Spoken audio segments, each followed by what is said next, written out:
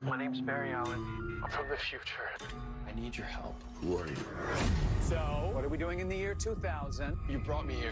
You're here to kill me as a child. It must hurt to not be able to tell them you're their son. I'll flash. We are going to have the most wonderful day together.